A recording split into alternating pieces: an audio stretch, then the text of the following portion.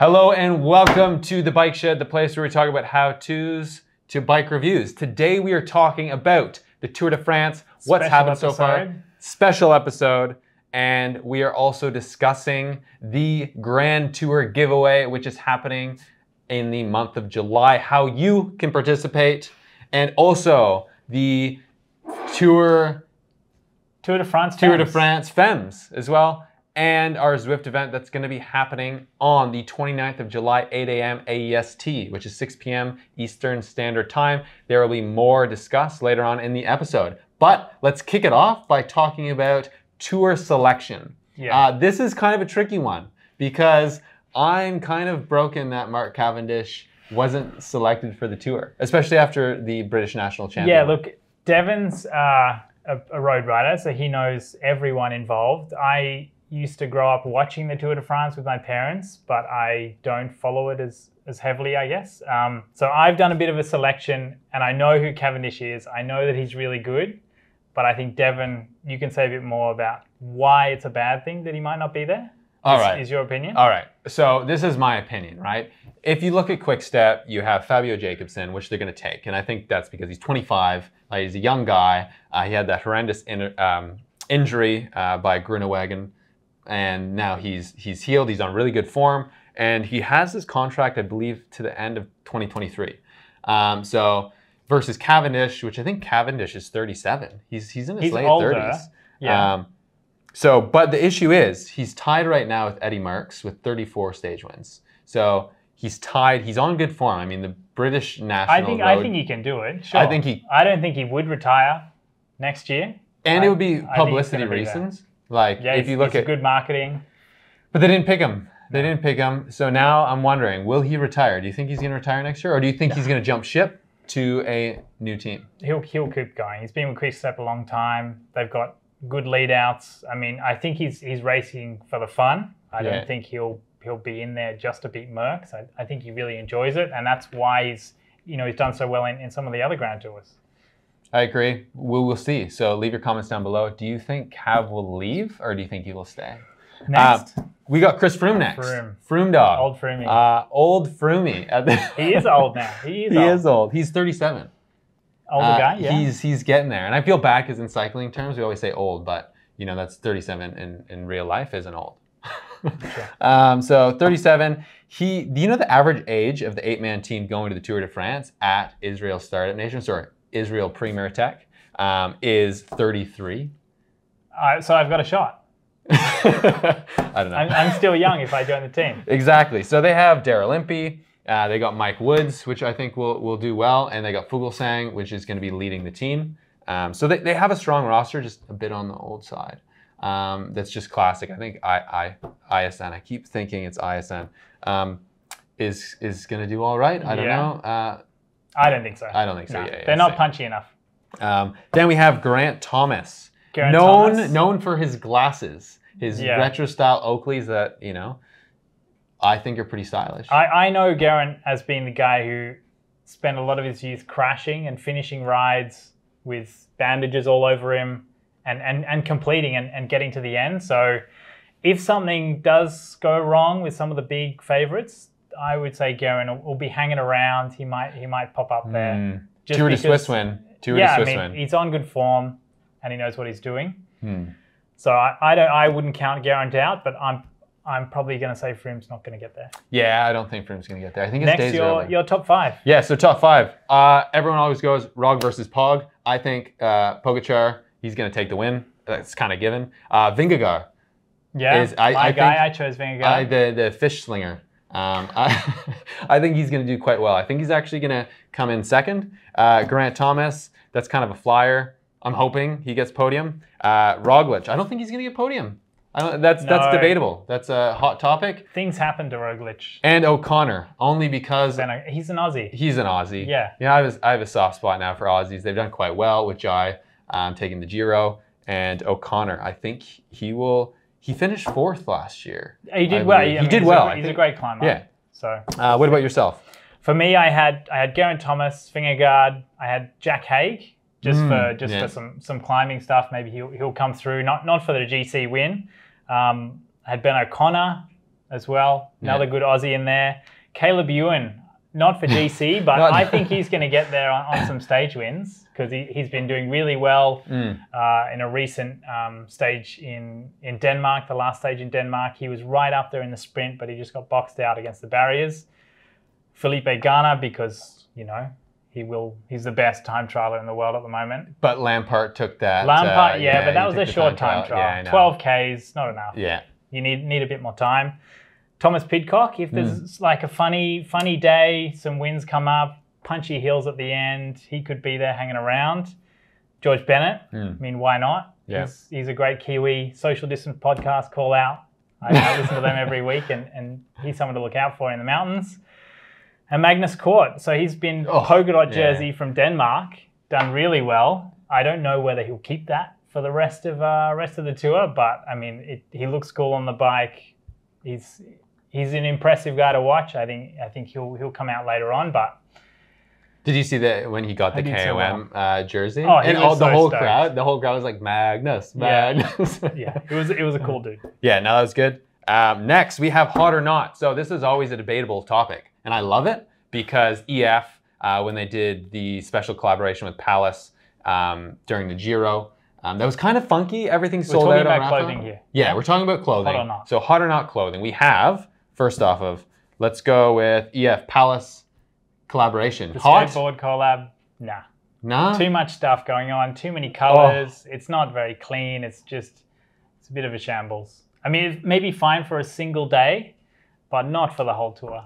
It just doesn't look All nice. right, all right. Next, we have what is called the masterpiece by Jumbo Visma. Yeah. Um, I don't know about this. Also, no for me. Looks like they've been just dropped into a bucket of paint. It's yeah, it's not very nice. It doesn't come out well on on a cycling jersey when you have these skinny guys with these blotchy brown paint pieces. It, it looks like they're either falling in the mud or yeah. I'm not. It kind of something went wrong me. with the printing. Mm, it reminds me of hunting, like a hunting jersey yeah, or something. camo. Yeah, it's- camo. It's it's not cool. Next, we have uh, Israel Premier Tech Fields of Dreams. This is nice. This this reminded Looks me of some Fields of Dreams. Yeah, And the Fantini is the wine company. That's the, the main sponsor. Nice sponsor, sponsor. sorry, sponsor, not sponsor. good for the ends. Uh, yeah. during. Uh, depends because the average age is 33, so maybe they're all on the Maybe wine. they're all on the wines. Yeah, could be. Um, all right, next we have hot tech. So we're not going to go into every piece of hot tech. Right now, we have Shimano 105 Di2. This is all This the is in right the market, This is in the market, not on Tour de France, in the market. And I wanted to know, since you're a tech guy, what do you think? Let's, I let's- mean, it's they're, they're just playing catch up. You've had Hmm. SRAM Rival AXS come out last year, um, and that offers a, an entry level wireless gear changing group set, electric Hmm. group set. Shimano's been late to the game again, so it's pretty common for them to be a bit later. You could argue some of their products are, are, are kind of very well developed when they do come out, but it's, it's taken them quite a long time. You do still have wires to the derailleurs and to an external battery, or you hide it in your seat post, but you do have wires hanging around, which other brands have been able to get rid of that. Um, for me, it's more about, about time. yeah. It's it's not it's not hard. They can they prove they've been able to do it. They just need to offer it at a good price. It is pretty costly. You, you know more than two and a half thousand depending on on your currency. Yeah, that is. But I mean, on, on OEM bikes, it's going to be a really big seller if you can get a bike with, with Di2 105. So I think the thing with DO, uh, sorry, Di2 105 is that if you look at the weight, the total weight versus Ultegra, right? 3,067 grams, that's 105. Then you have 2,690. So there's about 377 gram difference. That's in crank and cassette. That's my opinion. So the the spiders that hold the cassette rings will be aluminium in 105, and there's a carbon carrier in in Ultegra. Crankset in 105 is definitely a bit heavier than than Ultegra, but everything else will will probably be exactly the same. So is it worth it? That, that's a Phil question, but I'm going to ask you, is it worth it? I'd say yes. Yeah. It, it's worth it, but it makes Ultegra seem expensive, Yeah. and it makes Dura-Ace, as as usual, seem Yeah. overpriced. Yeah. Yeah. Is for the dentist. Yeah, can be. Um, all right, next we have Tour de France Femmes. This is a big one. Um, this gets me really excited because finally there's some coverage on women in cycling. Yeah, Uh, I mean, it's been going for a while. it has. So the first one was in 1984, um, the Tour de France Feminine, and they rode a similar course, but it was shortened. Um, and then it stopped for a very long period of time, right? And it's finally gaining recognition. I think it's a really good step forward, especially when it comes to awareness. Again, more eyes, more sponsors. There was plenty of people Um, watching Giro de Donna. Mm, there was, and it was exciting to be honest. Giro was I good. I personally found it more exciting than the men's. Yeah. Um, a lot. The peloton's smaller, more attacks. It's more entertaining to watch, um, and really closing the gap is really important when it comes to pay. I think so. The more eyes, the better, right? So I'm looking forward to that. That is the 24th of July um, to the end, to the end of July, um, which is awesome. So to get involved, you can actually watch it on Discovery Plus, GCN Plus, Eurosport, and the Eurosport app. Um, SBS will also be running it, I believe. Highlights, yeah. So a big thing is how you can support is actually watch watch the race, and it is entertaining. It's good. Yeah, it's it's really good. My top three contenders: Van Vleuten from Movistar and Sarah Gigante, which is an Aussie. Yeah, I mean, Yeah, she's been she's young. Real young. Yeah. Isn't she like 18, 19? I think so. She, I, maybe 20. Okay. Um, she had a bit of illness, and now she's bouncing back. She got her first pro pro win this year. Great. um, which I would love to see her help out Van Vleuten in the mountains because she is a strong climber. She ripped apart the NRS here in Australia, the women's, absolutely decimated people, uh, which is great to see. Um, next, one of my favorites, Cecilia Uttrup Ludwig. I'm I don't know. I think I pronounced that all right. Uh, she is on FDJ and she's all, she is a positive ball of energy. So Cool. I want to see her Personality. So, Yeah, personality is I a mean, big thing. If you see that in, in men's cycling with, with Peter, people like Peter Sagan, Yeah. Cavendish, they might not be winning all the time. but personality. But they're a big Mm, personality. yeah. So I think you'd win there, mate. Cool. All right. So next we have the giveaway. So the Grand Tour giveaway happening at Bikes Online. What this is is you can have a chance to participate by hitting the link in the description and it's engaging with our socials. The list will be there. If you like us on Instagram, that gives you one entry. And refer a friend, that's gonna be weighted higher. So basically, we'll have a list of things that you can do to get more entries into the giveaway. What that includes is we have the Strattos S8 disc. A whole bike. A whole bike, That's pretty amazing. which is pretty amazing. this guy. Yes, this is part of the Strattos range. That guy. Yep. Yeah. And next you have the road helmet, Entity road helmet, carbon road pedals, the cargo bibs. We also have a front light and rear light combo. And we have the bottle cage, Tour de France coffee cup, which is pretty epic. Always good. Um, Just stick another one in the cabinet. Uh, then we have Coda hydration tablets, uh, Coda energy bars, and we also have energy gels and protein powder. So essentially, it's an ultimate bundle. It gets you started, gets you the helmet, gets you the bibs, gets you the lights, Nutrition for your races, yeah. for your races, and a whole bike. Which this is happening both in the U.S. and Australia, which is awesome. And the description will be in the link below, and you can read all about it. Um, so just head over there. Next, what we have is our TDFF challenge. And what this is, is on Zwift. And if you're not familiar with Zwift, again, you can head over to the link in the description. We explain how to use Zwift. It's an online training platform that allows you to interact with the global community and interact with us. Uh, super easy to use and set up, which will to- tell you exactly how to do it. And we'll have categories from A to E. And what that means is everyone can participate. It doesn't matter your fitness level, you can participate and you have a chance to win some special goodies. So if you come first in your category, right? So you have A to E, you can win the following, right? This is what we'll have. We have the Coda electrolyte tablets, a four pack, Coda energy gels, Entity cargo bibs, uh, a lightweight portable telescopic floor pump with a gauge. And I love that floor pump. It's good. Uh, it it's, is- It's really good. It is a good floor Yeah. pump. And some Zwift merchandise. Yeah, So- uh, for me, it's a great set of nice cargo bibs. That's Hmm. very cool. and I, lo- I love them.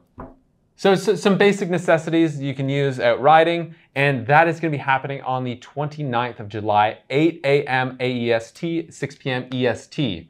So mark your calendars down, hit the link in the description, and sign up to our Zwift event. Are you going to join? I mean, I'll I can turn my Zwift back on. So it's been a while since I've been on Zwift. I used it when I was in, in quarantine and when we had terrible weather, but the weather's come bad again. So maybe I'll dust out the trainer and That's it.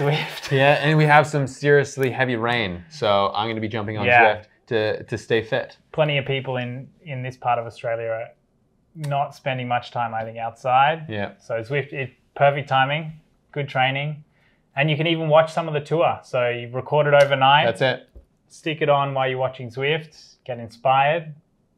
And on the fun. 29th, uh, we're going to have a little Q&A. Um, some of the girls from InternationElles, which is a female organization that works alongside uh, the Tour de France Femmes as giving it awareness. In 2019, they, they rode all the stages the men, the men rode, and they got a lot of publicity. So some of the women from uh, the InternationElles will be joining us during this Zwift event. Cool.